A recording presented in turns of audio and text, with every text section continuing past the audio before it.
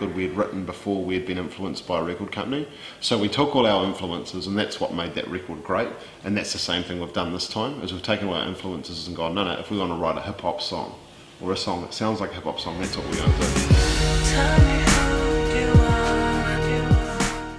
Or if we're going to write a guitar, acoustic guitar based ballad, that's what we're going to do because that's what feels right to us.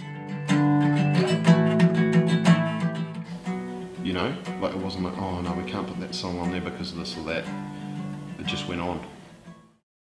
We actually didn't even start it as to do an album. We just started jamming. I mean, you got to remember that. That's all it was. We're just friends that were just jamming, and that was it. We didn't want to take it anywhere. We just wanted to make songs again and make music again, and that's how this come about.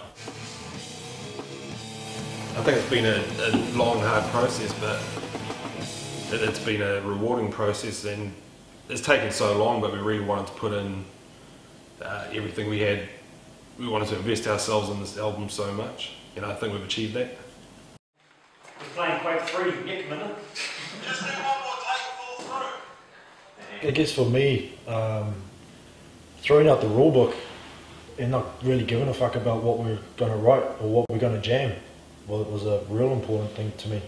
Like um, we just got to, we just got to play with ideas and and not have all that format and structure stuck in our head.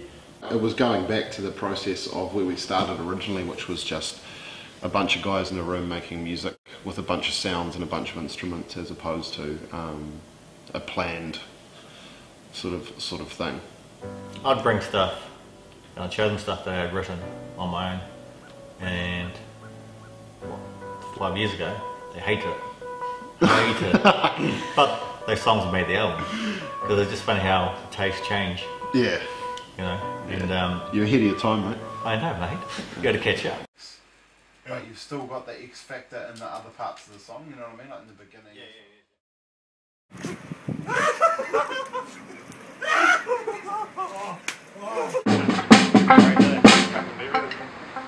He's Hey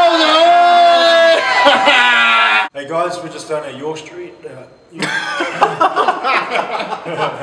Not going well, eh?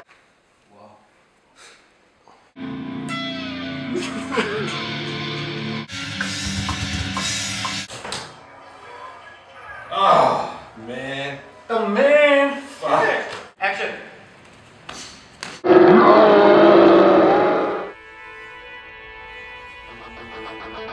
Chris,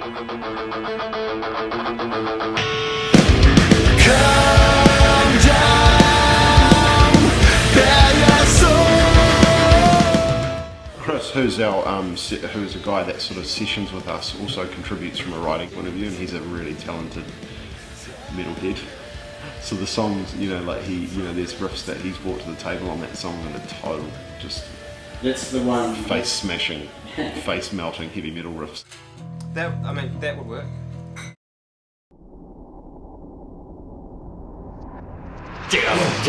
We, need, we, No, we did- needed a- we were in the mood. We were in the mood when we wrote that song. We were in the mood in the studio to write something heavy. Wish what it Yes.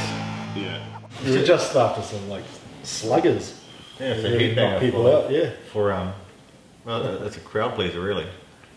If you think about like when you're on stage and like you know how, how the crowd reacts, Yeah. it's that kind of tempo where it's just like Yeah, thumping, and you know they just smash each other up.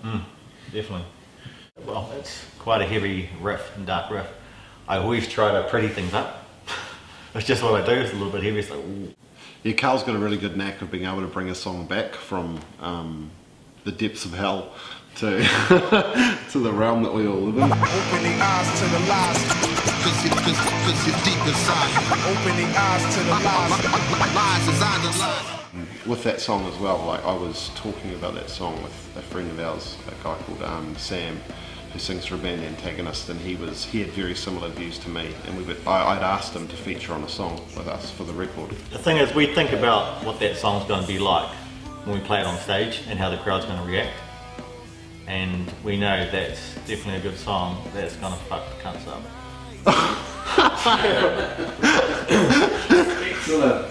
Uh, Pretty much though, eh? Yeah, we're gonna we're gonna FC you, man. Covered